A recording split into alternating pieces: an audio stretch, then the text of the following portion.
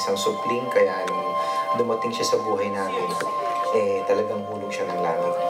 Yung anak ko pong si Ningning, tsaka yung pamilya ko po, sila Mamay, tsaka si Dondon po, yung asawa ko. Apo ko, si Ningning. Siya ang sentro ng buhay ko ngayon. Gusto ko isang buong pamilya, masaya. Yung mga kaibigan ko po sa school, yung mga kalolo ko po. Pamilya ko po, si nanay, si tatay, tsaka po si mamay. Ngayong July 27, tingnan ang mundo sa mata ng isang bata. Makikilala mo na si Ningning. Ako po si Ningning.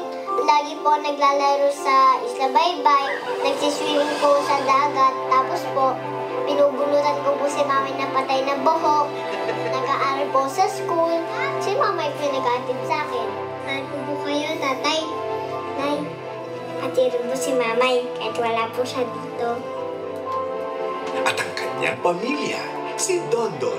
Ako po si Adonis Angeles. Isa po akong mangingisda. Meron siyang crush. Meron po akong crush dun sa aming ah, baryo. Kaya nung nagkaroon po ng pagkakataon na makapagtapat, eh nagbunga na ho dun ng magandang relasyon at pagsasama. Kaya ho nagkaroon kami ng isang maliit na pamilya nung dumating po sa buhay namin si Nini. Kung tayong pumayag na madapa nang hindi bumabangon. Sabi nga ni nanay, tsaka ni Ningning, tinitog lang. Si Lovely. Ako po si Lovely Angeles. Nag-iisang anak po ako. Simple lang po yung buhay namin sa Isla Baybay. Tapos nagkaroon po ako ng isang asawa na sobrang mabait, tsaka sobrang tiyaga ng ligaw sa akin. Pangalan niya po si Dondon. Nagkaroon kami ng isang napakabait na anak na si Ningning. Magkamukha po tayo. Magkamukha nga tayo. Pero mas maganda ka talaga sa akin kasi nagmana ka rin sa tatay mo. At si Mamay. Ako si Pasita Angeles, kung tawagin ako ay si Mamay. Ako, ako yung nagbibigay ng suporta sa anak kong si Dondon at sa asawa niya. Ako yung nandyan lagi sa tabi ni Ningning. Lahat ibibigay ko, kahit buhay ko, para sa apo kong si Ningning. Ano ba yung paiso? Kung saan masaya ka, kung saan kasama mo ang mga mahal mo sa buhay. At ang kanilang mga kaibigan, si Otep Ako din si Otep, barkada ni Dondon, na ninong ni Ningning, na lagi nandyan para sa kanila. Nandyan lang ako lagi para sa pamilya. Otep the. Ako po si Makmak.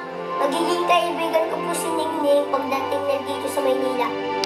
sa direksyon ni Jeffrey Jeturian. Yung ningning tungkol sa isang bata na masayahin at saka positibo ang disposition sa buhay, laking probinsya siya. Nung mapunta siya sa Manila, na dumaan sa pagsubok itong disposition na ito.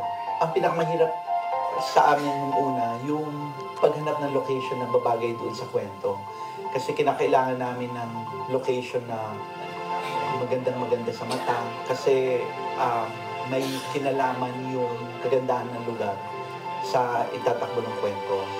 Nakita namin itong lugar na ito sa San Vicente, sa Palawan. Binagyo kami, tapos um, ang hirap mag-shoot na ang, ang tindi ng init ng araw.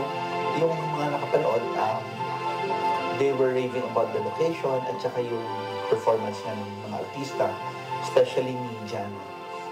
Kasi for her age, napaka-smart niya at ah, alam niya ang ginagawa niya. She comes to the set prepared, kabisado niya yung mga linya niya at may talent talaga siya sa pag-aarte. Isang kwento na magpapaningning sa inyong mga araw. We see the story through the eyes of the child and there is so much to learn from ano from looking at the world through the eyes of a child.